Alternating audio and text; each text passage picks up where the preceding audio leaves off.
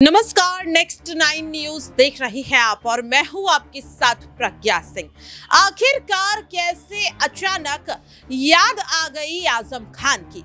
अखिलेश यादव जो महीनों से उन्हें नजरअंदाज करते हुए नज़र आ रहे थे, दरकिनार करते हुए नज़र आ रहे थे।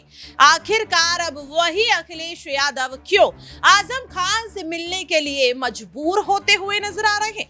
दरअसल आपको बता दें कि लोकसभा चुनाव सर पर है।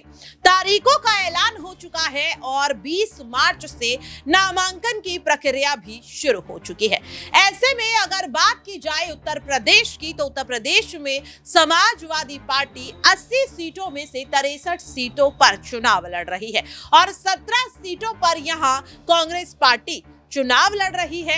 ऐसे में आखिरकार अचानक से अखिलेश आज़म खान की तरफ़ क्यों रुख कर रहे खबर सामने आ रही है कि 22 मार्च, यानी कि कल अखिलेश यादव सीतापुर सीतापुर का दौरा करने वाले हैं और इस दौरान वे आज़म खान से मिलने के लिए जेल में भी जाएँगे।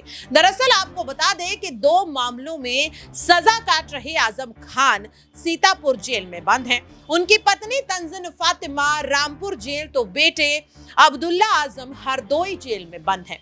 ऐसे में अब ये कहा जा रहा है कि अखिलेश यादव आज़म खान से रामपुर समेत उत्तर प्रदेश की अन्य सीटों को लेकर चर्चा कर सकते हैं। इन सीटों पर आखिरकार किसे उतारा जाए, किसके नाम को फाइनल किया जाए, इन तमाम मुद्दों पर अखिलेश अब आज़म खान से बातचीत करते हुए नज़र आएँगे। जानकारी दे दें कि अखिलेश यादव और आज़म खान एक समय में दोनों के बीच एक अच्छा रिश्ता था। आज़म खान के यादव परिवार से पारिवारिक रिश्ते हुआ करते थे। लेकिन नेताजी के निधन के बाद देखने के लिए मिला कि आज़म खान कहीं ना कहीं अखिलेश से दूर होते चले गए। अखिलेश ने भी उन्हें पूरी तरह से नजरअंदाज कर दिया और ये दूरी और ज़्यादा तब बढ़ी जब रामपुर सीट पर हुए उपचुनाव में सपा को करारी हार का सामना करना पड़ा। इसके बाद आज़म खान जेल चले गए और अखिलेश यादव लोकसभा चुनाव की तैयारियों में जुट गए। लेकिन आज़म खान पूरी तरह से अलग होते हुए नज़र आए। लेकिन अब खबर सामने आ रही है कि रामपुर सीट से अखिलेश यादव आज़म खान के ही किसी करीबी को टिकट दे सकते हैं।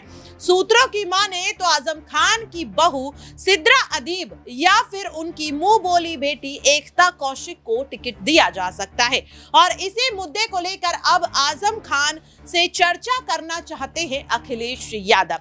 सवाल ये है कि क्या वाकई में अखिलेश को आज़म खान की याद आई है या फिर इस मुलाकात के पीछे की वजह भीम आर्मी के चीफ और आज़ाद समाज पार्टी के संस्थापक चंद्रशेखर आज़ाद हैं? दरअसल आपको बता दें कि सूत्रों से ये खबर सामने आई कि कुछ दिन पहले ही चंद्रशेखर आज़ाद ने आज़म खान के बेटे अदीब आज़म से फ़ोन पर बातचीत की थी। इस दौरान वे आज़म खान को लेकर भावुक होते हुए नज़र आए, उनका समर्थन मांगते हुए नज़र आए।